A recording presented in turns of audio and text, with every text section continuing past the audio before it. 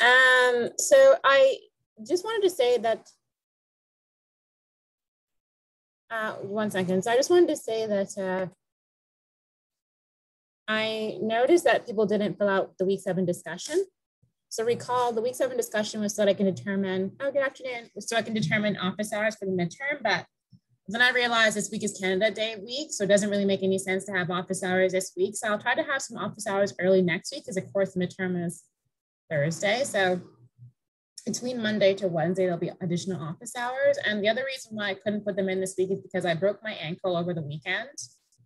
So I am in a little bit of pain. So I can't really, I, sitting down is painful. I have to lay down. So I, I can't put any more office hours this week because I just need to give myself time a bit.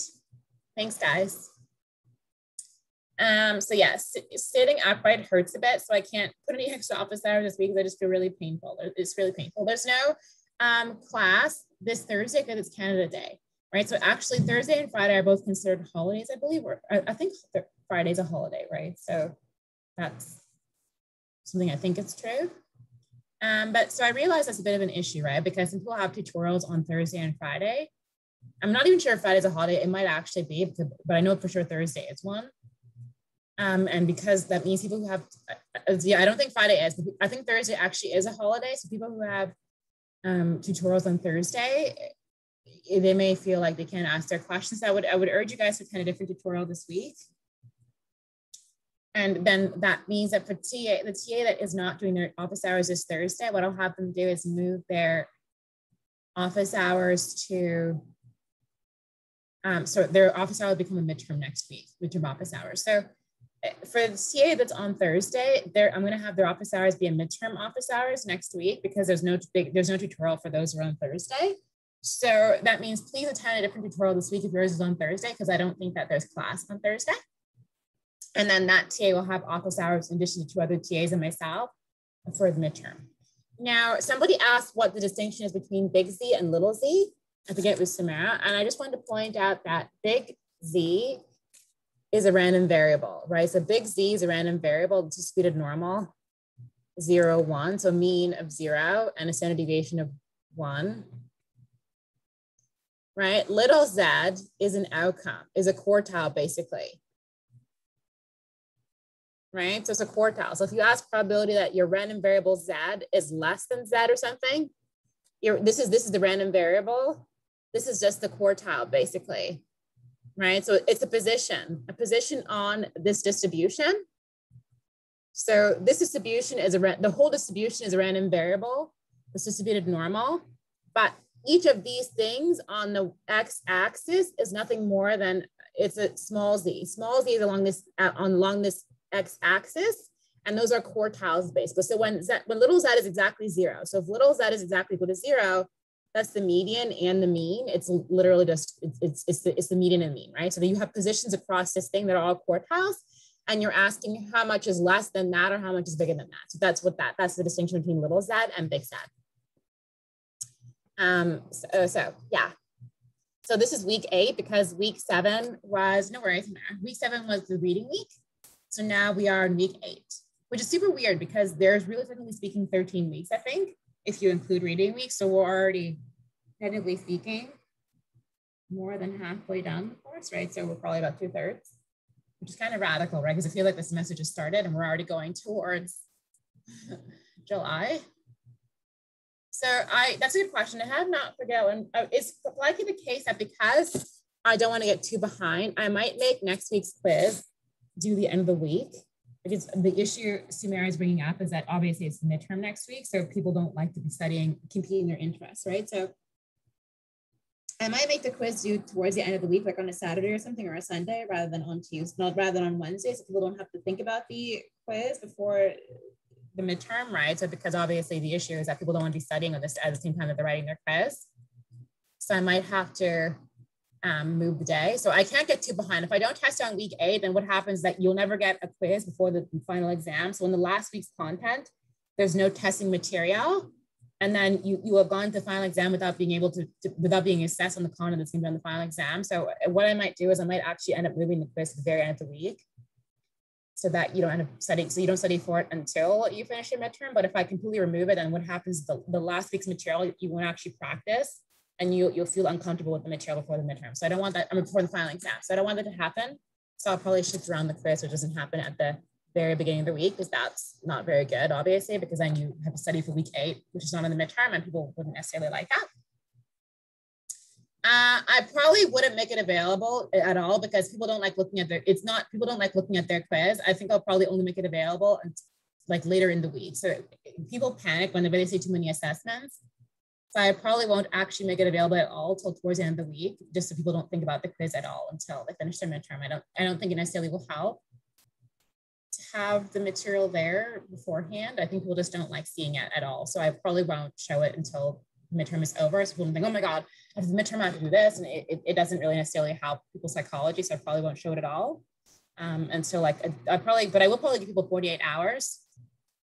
Um, yeah, so I probably give people 48 hours to do the quiz instead of 20, instead of 24, just so people have a bit more reassurance for this quiz. Um, so yeah, but I will probably want to make it available towards the end of the week so people don't panic and whatnot yo, only one person, should, that's a good question you're asking, Simran. Please only one person submit the initial report.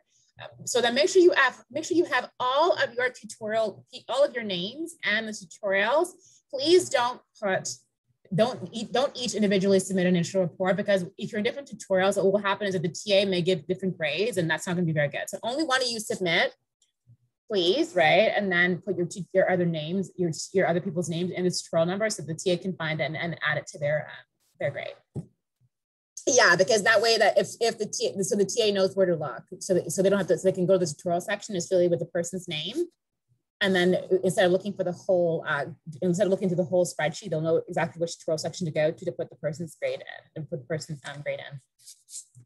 I mean, if you don't put your tutorial number, it's not it's not horrible because we could of course find it, but it would just make it easier if you if you would put that. So if you can, yeah, please do.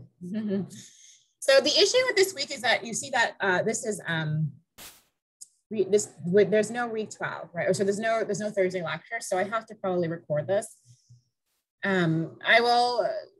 Obviously, the issue with recording is that people like to ask questions during class. So I'm going to encourage people to put questions in the chat. So I will open up a week eight chat. So when you do end up watching the lecture, please feel free to put the questions you may have in that chat because the thing is, is that obviously because we don't have classes Thursday. No, I, I'll, I'll get to it eventually. I just, because I broke my, my foot, I haven't been able to get to my emails, but I definitely will get to your email today or tomorrow. I'll get to your email. I saw it. I, am thinking about a solution and I, and I will get back to you. Sorry about that. So yeah, so I will record this. And so if you are so week eight, um, I have to record it. So if you have questions, please put it in the chat because I do know that you guys are rather interactive. So um, I feel bad because obviously I know you guys want to, want to ask questions. And then the issue is that I need to make sure that I'm available to ask questions. So definitely please put it in the chat because it's kind of a, a funny, a funny point in the yeah content. So definitely feel free to ask your questions. Um, yeah. So Recall, so I just want to point out that we did say that we were working a lot with discrete variables in part because we cannot do integration, but we did say we would work with a couple of distributions that were actually going to be continuous, like the Z distribution and whatnot, because we have tables for those, the chi-squared, the t which means that I'm going to go back to describing categorical versus continuous variables because it's going to, in some sense, determine which distribution we use for things like hypothesis testing, confidence interval construction, etc. Right? So recall that categorical variables are ones where obviously you don't have a numerical value, right? So they're all discrete but they differ in quality, not numerical value. So when I say quality, I mean things like strongly agree, agree, which means every variable we were working with in our course survey were actually categorical variables because you can see that none of them had numerical values, although some of them are ordinal if it was like strongly agree, agree, neutral, disagree, strongly disagree, or some of them were nominal, right? When you had like yes versus no. So, but they were all categorical variables, right? So now, why am I saying this? Because the type of inference you're making will depend a lot on the variable you're working with. So are you working with categorical variables? Are you working with things that are actually quantitative? Um, when you are working with categorical variables, you can only estimate proportion. So how many said yes versus how many said no. That is um, what we can talk about when we talk about differing in quality, right? So when you say proportion said yes, they, they agree to something, that is you working with categorical variables. Whereas when things are continuous, you can talk about means, right, which we'll talk about in a bit. So for instance, the proportion of smokers in STAB23 now, smoking status is going to be a categorical variable. Either you are a smoker or you not. You are not. So if we talk about the proportion of smokers, we're going to essentially count out how many said, yes, I smoke, versus those that said no. No are the non-smokers, basically, right? So this is inherently categorical. You see there are only two categories, and we can talk about proportion who said, yes, they do smoke, right? So now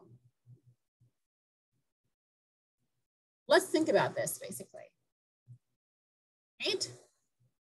Now, obviously, like I said, if I have this notion of categorical variables, I'm going to, I'm, I'm bound to proportions, right? Because they're all discrete, but they differ in quality, they differ in quality rather than, than numerical values. So we cannot talk about means. You cannot sum up yes versus no into some kind of random mean. In contrast, when you have these quantitative variables, there are ones that have numerical value. So of course they differ in magnitude because you know that for instance, one is less than two. And we can talk about, because you have this notion of differing in quantity or differing in magnitudes, you can, you can talk about differences basically.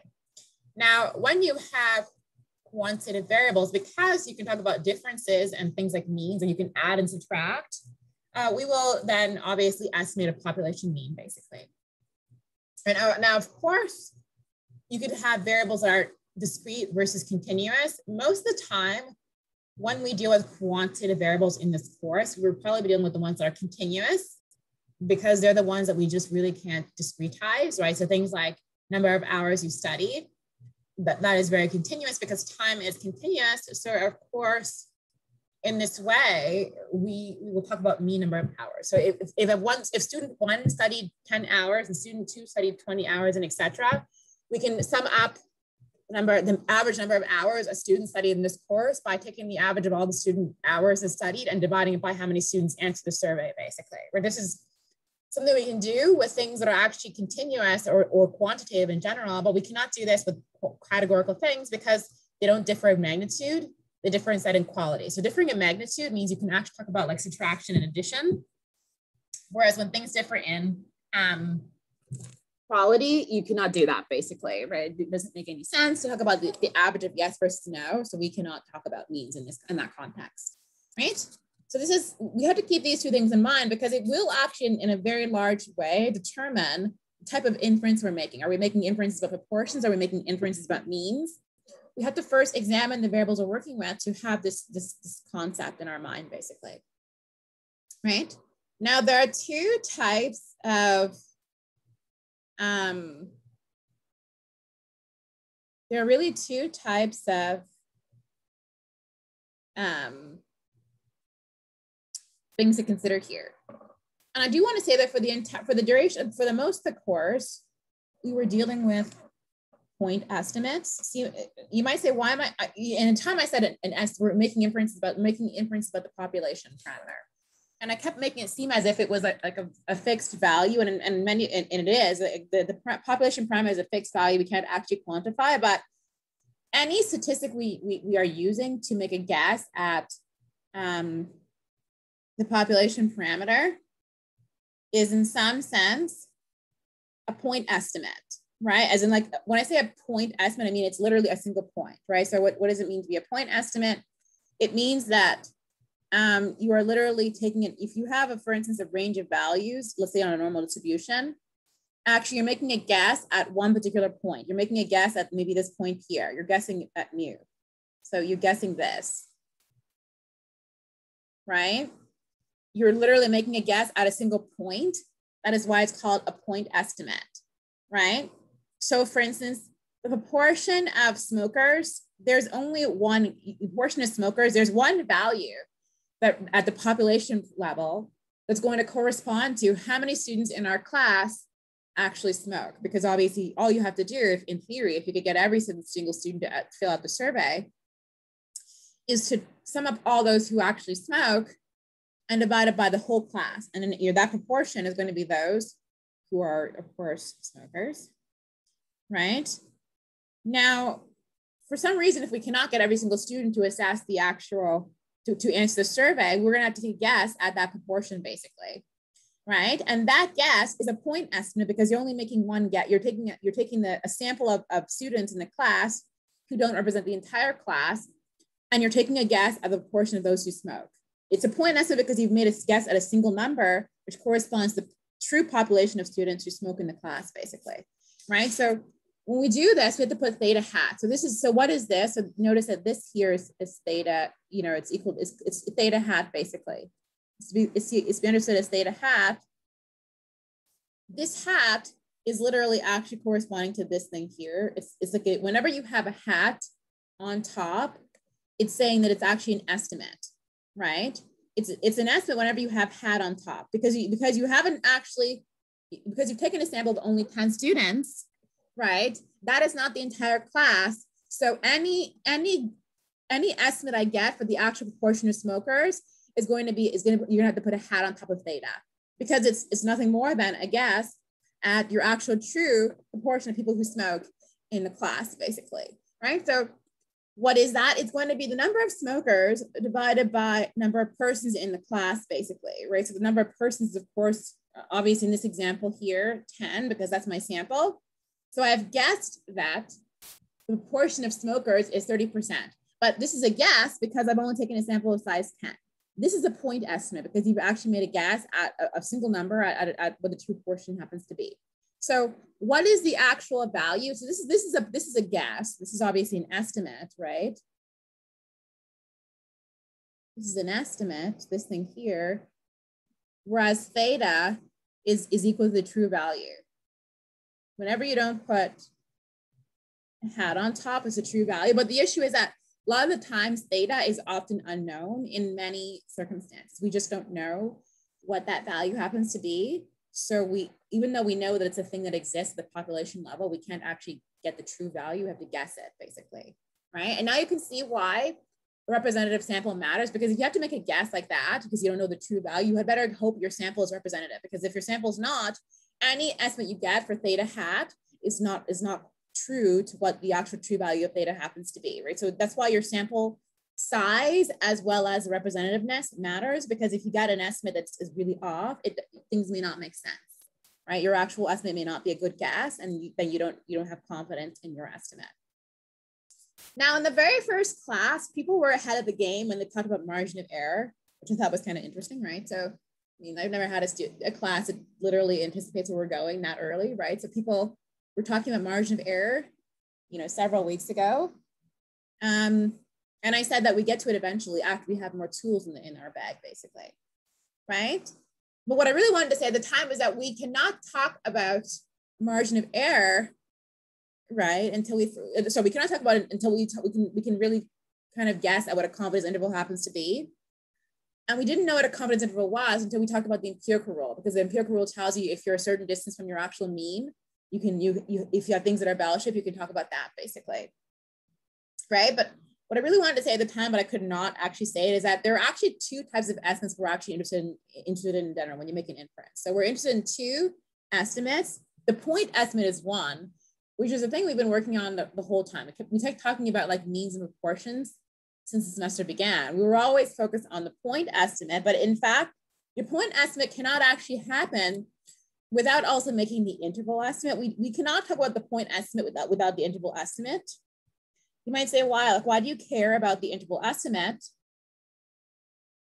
you might say, yeah, so the class, this is actually a really keen class, to be honest. so you might say, why exactly do we care about the interval estimate? Um,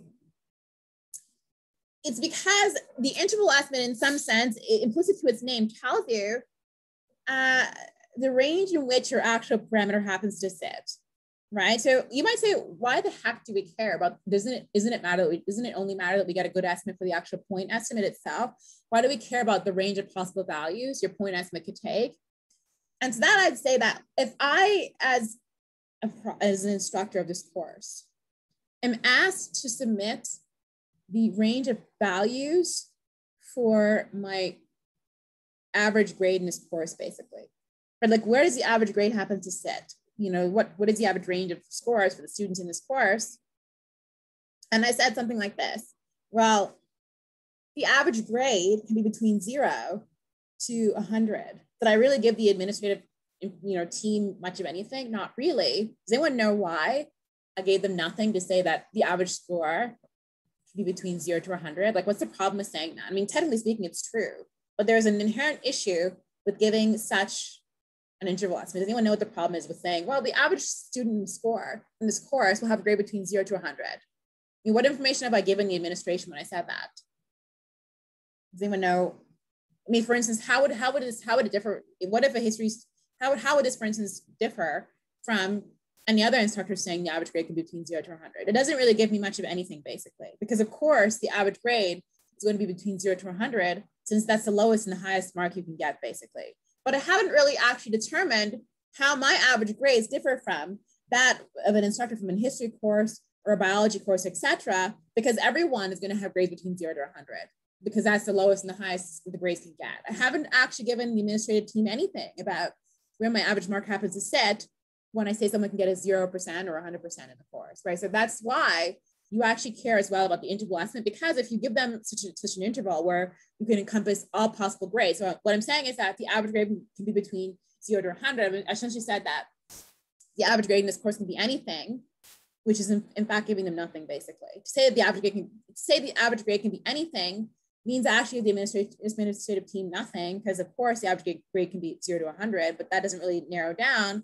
where my grades happen to sit in this course. This is exactly why we also care about the interval estimate in addition to the point estimate, because you want to know in a tight window where your grades happens to sit or where anything you, you're estimating happens to sit. And you want this interval to be small based. You want to have a very precise interval among which your grades actually sit, right? So, or, or whatever you want to estimate. Another way I actually kind of, I actually kind of narrow it down Exactly. It's, it's basic confidence intervals, honest. So the question is, how confident are you that your actual parameter estimating sits in a particular range?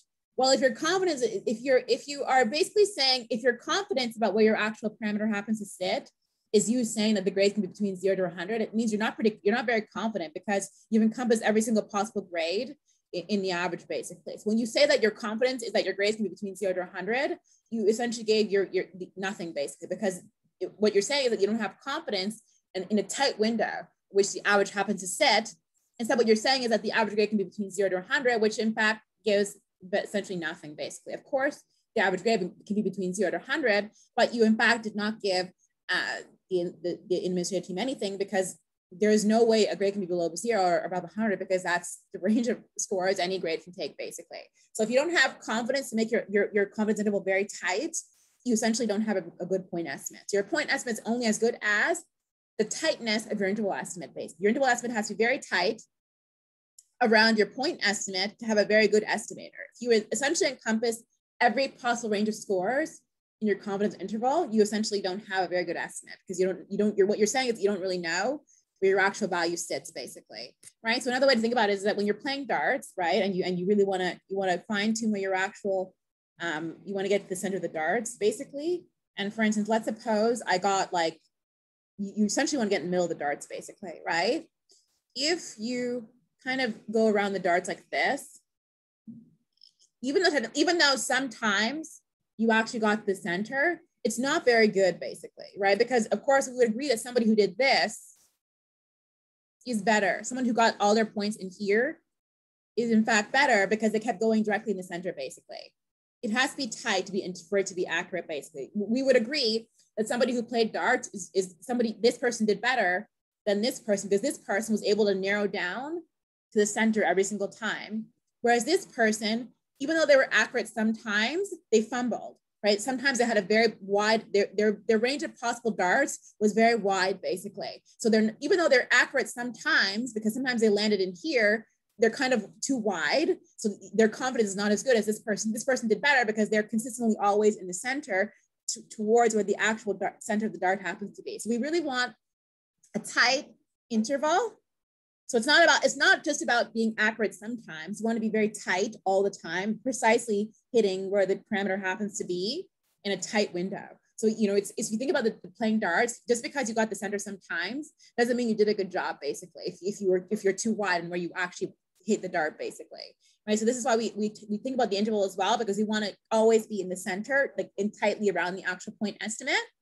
So we're, we always think about these things as well, right? So this is something to keep in mind that it's not just about, um, yeah, we exactly when your when your estimates are tight, you have a very high confidence. That's exactly it. When your estimates are tight, you are you are feeling more confident, basically right? So you want to have a tight estimate. What you feel, you when you feel basically you're more confident when things are in a tight band, basically. Whereas you don't have a very high confidence if things are very widely spread, basically, right? So your your, your estimate is not very good. Sometimes you're accurate, but you're all over the place, basically. You want to have a very tight range in which your actual parameter can sit, basically, right? So this is why we. It's not just about the. It's just not just about the point estimate itself. It's about how tightly you can put an interval around the point estimate. You want the point estimate to be in a tight range of possible bands. You don't want it to spread out everywhere, basically, because if it's spread everywhere, you eventually have a very poor get you have a very poor guess where your parameter happens to be because sometimes your parameter is over here, sometimes it's here, sometimes you get, you get the center, but sometimes you're really off basically. And you don't want that to be the case in your estimate base. This is why we, we always want to be tight, tightly in the middle, basically. You know, that's how we feel confident when we're really hitting the hitting the center all the time, basically right? So this is why we never, we almost never talk about the point estimate without asking ourselves um, whether or not our estimate is tight, basically right, around an interval, right? So you don't want to, you don't want to have a very wide range in which your actual parameter can sit. You, you don't want to say sometimes you're correct, but sometimes you're off basically and you're, and you're off all over the place, right? So this is why we, we always ask our, ourselves about the interval estimate as well to assess basically how, how, how tight our, our estimate happens to be right? This is why this is the, game of darts is always a good example to use because like people understand that like even if you you're accurate sometimes you didn't do a very good job unless you're always consistently in the center basically right? And it kind of works the same way with statistics. Even though you may have hit the center sometimes if you're if you're if you're if where your dart happens to go is too wide across the board in fact you didn't really do that well basically right? So this is an analogy we can kind of inherently understand right? That when if you're competing uh, in a game of darts no one's going to care that you got it in, in center two times if, if you're all over the place across the board too right? Where you are, how many times you actually get the center also matters in terms of points, right? So we're always thinking about like accuracy, precision too, like how precise are you, right? No, we always we always make the interval. We want to make the interval as tight as possible. Generally speaking, you want a very tight interval. because you want it to be as tight as possible, basically, right? So, but there are things there are things that are at interplay, Brianna. So we technically speaking, we want the interval to be very tight. We don't want it to be very wide. The tighter you can get your interval, the better, right? So if you get a really tight interval, what you're saying is that so essentially to understand it, you you really want to say that like you you'd be you'd be more confident. So if you had these two distributions here, technically speaking, you're more confident in, in the blue one because you see that even though they have the same mean, your range of possible values in the blue in blue and um, interval is much tighter. So, so while they may have the same center, um, the spread is much wider than the red one. So you would actually prefer the blue blue interval because it's telling you that mm, actually your inter, your your parameters really your your guess at the parameter is super tight, right? So we do, we do care about like the interval in which your actual estimate goes in. You'd rather have a very tight interval around the estimate because what you're saying is that here is the very narrow range in which your average happens to sit, and we can have a high confidence that it's sitting in there, which is better than saying our possible parameter can be this far to this far, which is too wide because you, you don't, it's not really that great. If, if, for instance, these values are very far from each other, say for instance, you're, you're at like 20 to 80, that's pretty wide, right? So these are scores, uh, that's not great. So even though, even if the mean for the blue one, so let me, let me, even if the mean, for instance, is like this, 20 to 80 and the blue one, the mean, you have like 40 to 50. And let's suppose for the blue one, the mean is like 42 and 0.1. And even for the red one, the mean is like 42.1.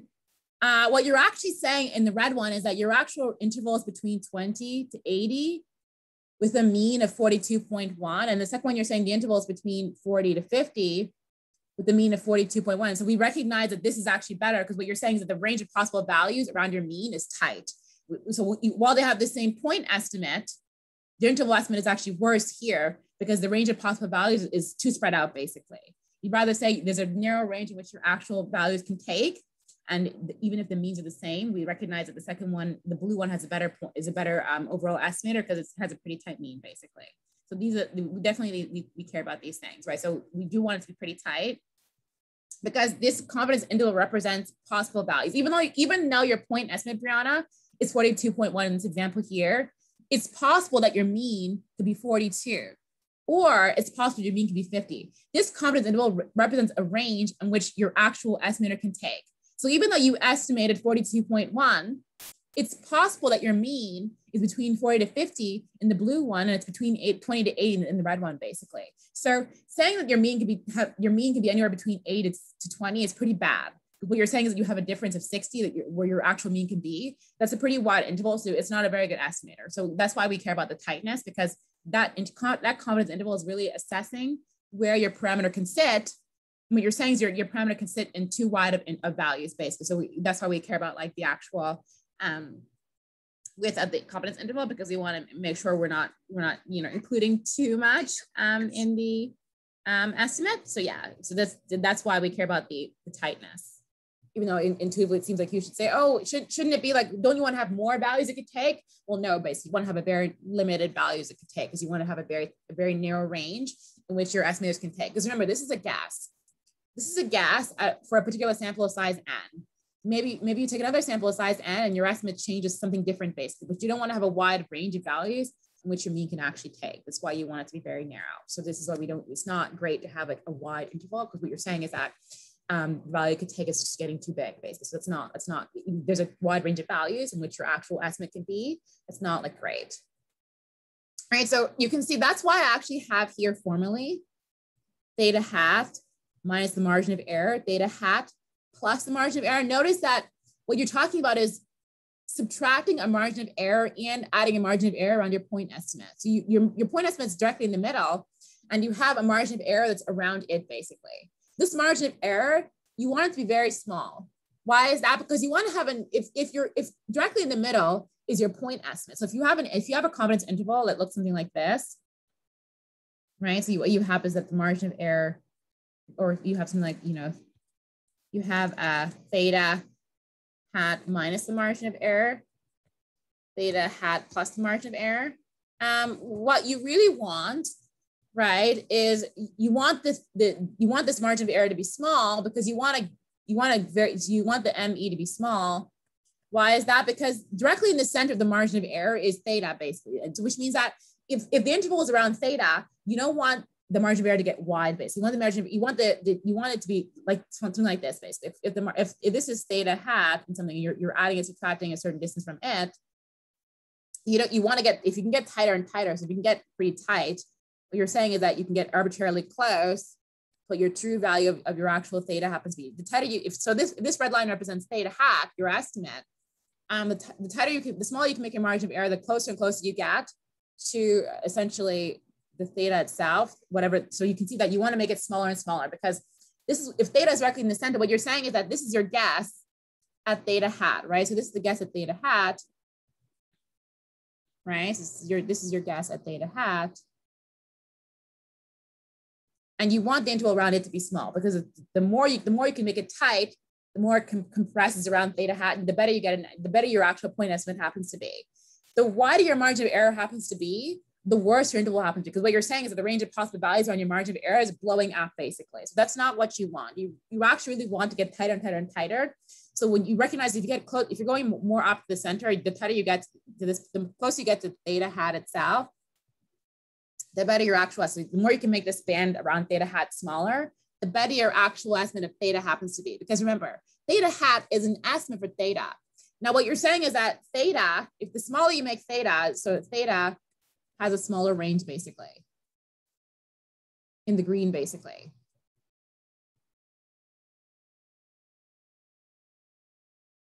So it's a smaller range of possible values basically. These are possible values for theta because theta had its estimate. And you can notice that the smaller your range of possible values, the better you are at estimating theta. The, remember, this is always an estimate about theta.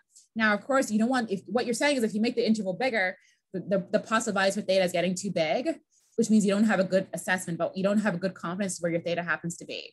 Right? The, the smaller you can make your, your interval around theta, the better confidence you have about where your theta happens to sit, basically. So this is why it matters, right? So it matters as to how big your actual interval happens to be, because you want to have a smaller range as to where your, actual, your actual value of theta happens to sit, right? I want to have confidence that, for instance, my average grade in this course is going to be between 70 to 76, instead of me saying, oh, it's going to be between zero to 100. So if I say 70 to 76, that's, that's a six point difference, which is pretty tight, which is a lot different from saying the average score is going to be between zero to 100, which is in some sense saying nothing, because of course the average score is going to be between zero to 100, but that does not give me anything about where the actual average, average happens to sit generally, basically, right? So this is why we care about the interval estimate as well. If you want to know how what the true average happens to sit in this course, of course, I need to make the interval very, very small, right, to get a good assessment. Okay.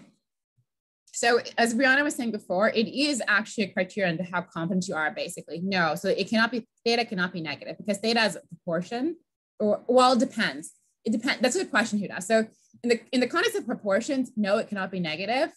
So if theta is if theta is a proportion, it cannot be negative because it's between zero to one. However, if theta is a mean, yes, it can be negative. If all your average, if all your data is negative, or or if some of your data is negative, you can have negative means, but you don't have negative proportions. So if if your theta is a, is a mean, and it's like it's possibly negative, then yeah, you can have negative means but you would never have negative proportions. That doesn't because the lowest can be a zero basically. So it depends on what your, your thing you're you're actually estimating is. It's possible to have negative values in the context of things something that's continuous and is in, in your computing means, yeah. But if you're talking about proportions, then no, it, that can't make sense.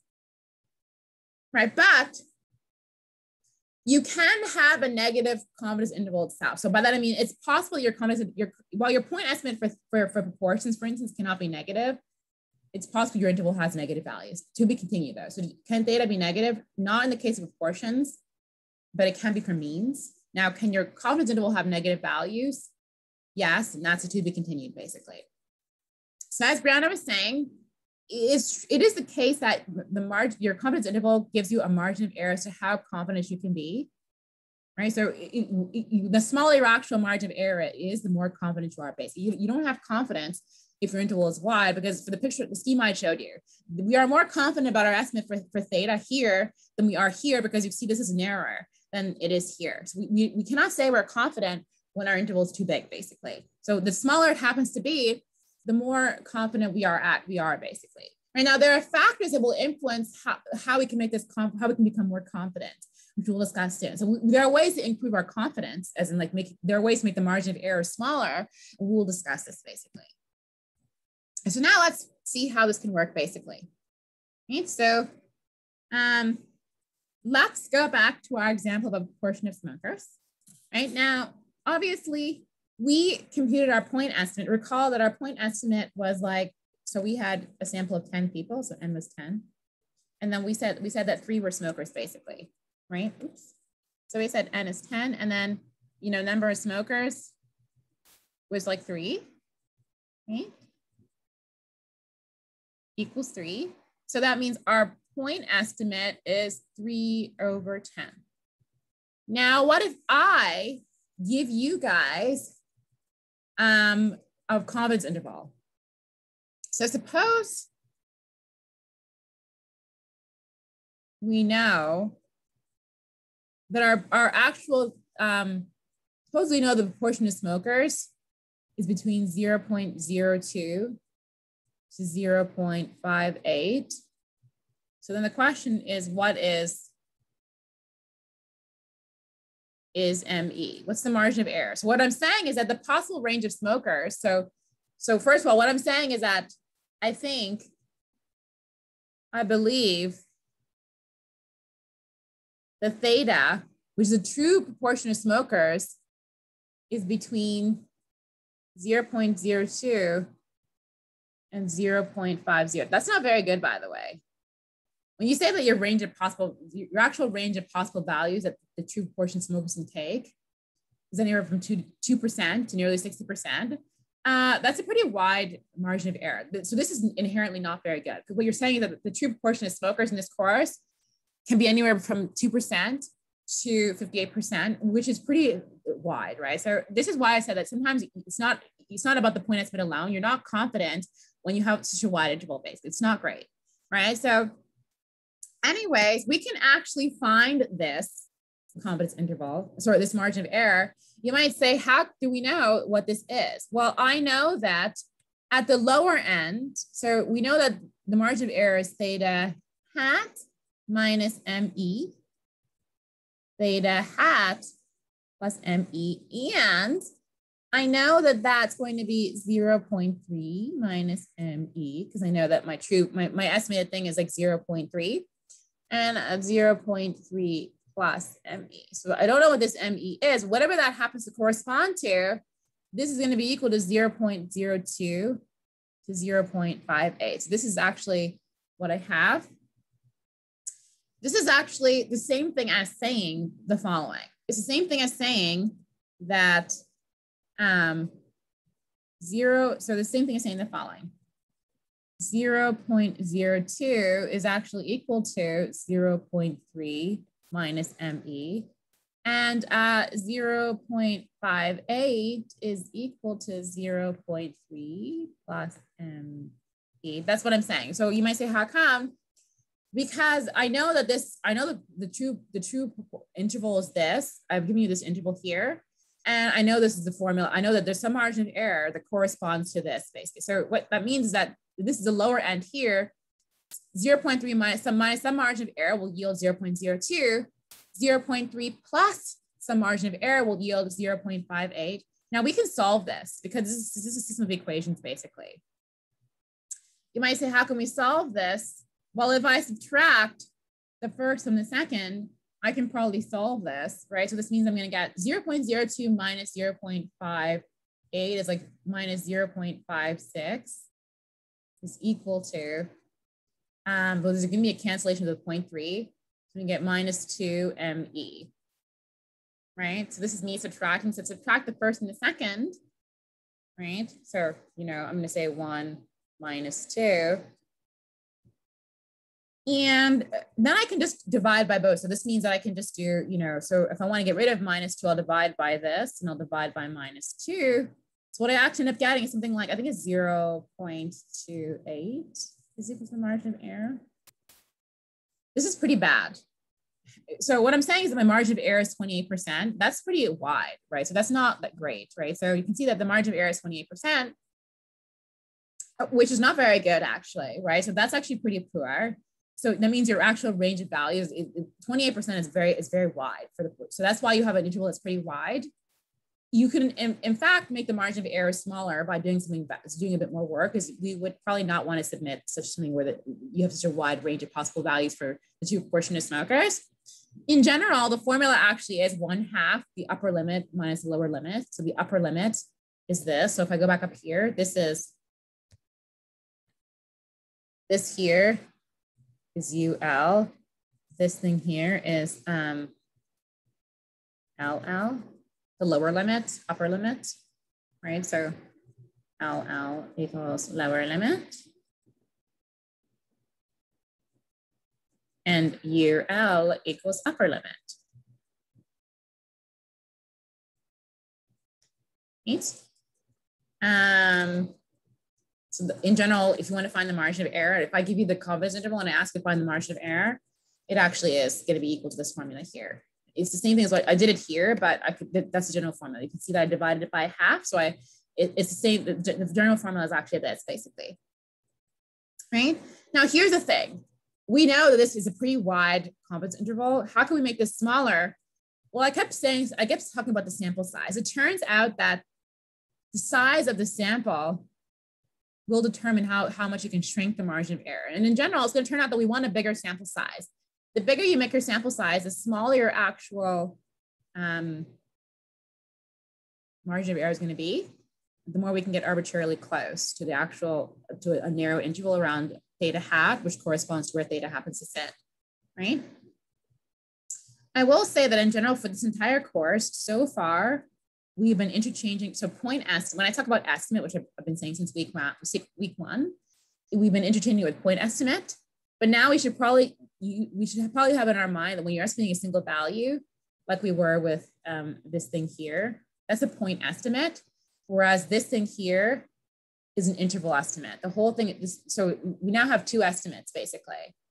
We have the interval and the point estimate, and that we have to keep this in mind, right? And we, we, we now we now care about both of them basically. It's not enough to just care about the point estimate.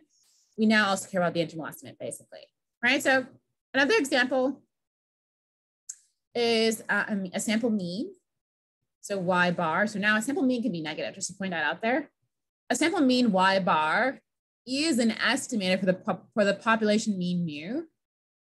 Now, if y bar is the mean number of hours studied per week, now this is, this is actually a point estimate basically. We could of course talk about the interval estimate basically um, around this point estimate y bar. And when you talk about an interval estimate around by y bar, it's going to correspond to where the actual population mean mu. So where mean where mu happens to actually sit is in some range of, of, a, of an interval estimate. Basically, we want this interval estimate to be small. So if I want to know the mean number of hours the typical student studies in STAB 23, then I'm going to talk about an interval estimate around the point estimate that, so that, that that interval estimate is something we, where we think that the actual mean mu happens to sit. And that's why we want to be tight. We don't want to say that the actual mean number of hours student study is, is pretty wide based because then you, you don't haven't really fine tuned where you think it happens to sit in a very tight way. Right? Now, I will say that in the last, I'm going to talk about this slide in the last probably three minutes because I think that I'm going to talk about the next slide later on. I'll do that myself because I don't want to rush things. So this will be the last slide until I record. I have to record this Thursday because there's no class.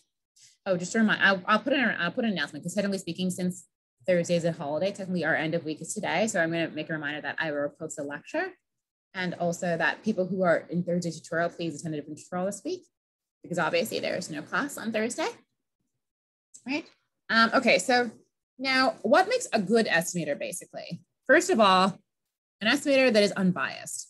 What does it mean to be unbiased? Um, it means that on average, you actually got an estimator that, that hovers around the true value.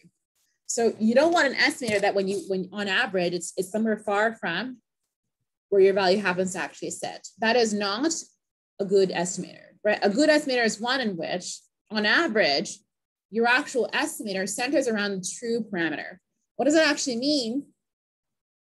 To be continued. So I'll give you a, a quick prelude. When I say centers around the true parameter, let's suppose my actual distribution, this is my actual distribution. So this is the population distribution. And then my actual sample distribution looks like this. This is a sample distribution.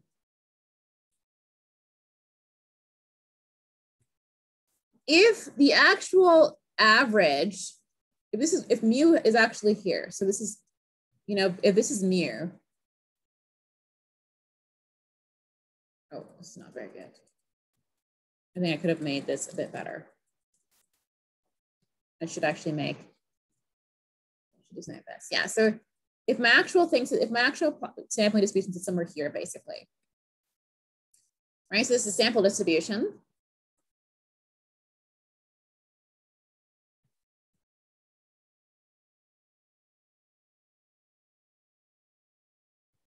Then if your actual parameter for the population level is here, you actually also want your sample parameter on average to, to, to be here basically.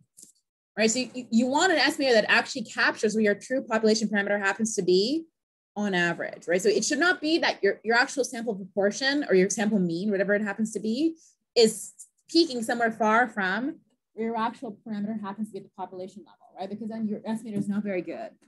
That's what we mean when we say on average, wherever your, wherever your actual mode your distribution happens to be for the sample, it should be at the same, it should be also peaking where the population parameter parameter happens to be. If your if your sample distribution peaks away from your population distribution, that's not very good, basically, right? So that's the first thing. The other thing is that you want your standard error to be very, very small. This is referred, we refer to efficient, basically, right? So uh, this one is a to be continued, but we want the standard error to be small. And the reason why is because the margin of error, I'm going to put it as a here prelude, the margin of error is related to this, is related to standard error. And because your actual confidence intervals is, like this,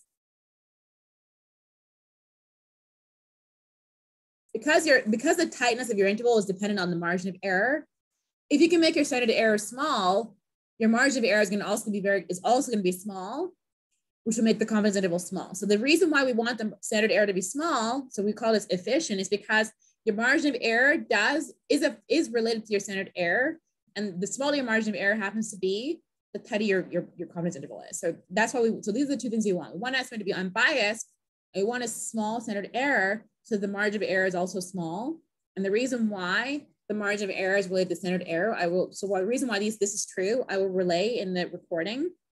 But just so you know, if the, if the standard error is small, the margin of error will also be small, and that's going to make the interval very tight, right? So why this is true is a couple of slides from now, which I can't elucidate obviously right away, but I will in the recording. So we want two things to be true. We want it to be, you know, unbiased, like I showed in this photo here, where you want the, the sampling distribution to peak around the population parameter, and you want it to be, you want the standard error to be small, basically. Those are the two things we look at. But I'm going to elucidate these both things more pictorially in the recording. So um, this is not going to be tested on next Tuesday because the midterm is next Thursday. So I'm going to make an announcement saying that the quiz will not be next Tuesday. And then I'll also make people aware of the fact that there will be a recording that comes out because this is the official last class of the week. And I'll let people know that if they're in Thursday's tutorial, they should probably relocate to another one this week because there's no um, there's no tutorial on Wednesday or Thursday. But have a great Canada Day um, or, you know, um, the, the estimate is not always unbiased, Isabel. We just want it to be unbiased. So it's not always so just to, this. It's not always the case that um, it's not always the case that it's not always unbiased, right? So please don't assume that it, we want it. We want to check that it's unbiased. We can't always assume it's unbiased. We should check. Thank you so much, guys. So yeah, a tutorial seven. I will open. The, I forgot to open the so submission. I'll open the submission now. Um, you we, we can yeah. So I didn't. I probably didn't open the submission for the worksheet yet. Oh, but I did upload it though. So check now, it's, it's up, Melissa. The, the worksheet's up. You can find an assignment in, in the assignments, but I probably haven't opened the submission portal just yet, but I will. But have a great holiday, everyone. Um, and then I'll see you guys next Tuesday, but uh, probably before that because I'll have office hours um, on Monday probably. But uh, yeah, so have a great um, holiday, guys. I hope it's very fruitful for you guys.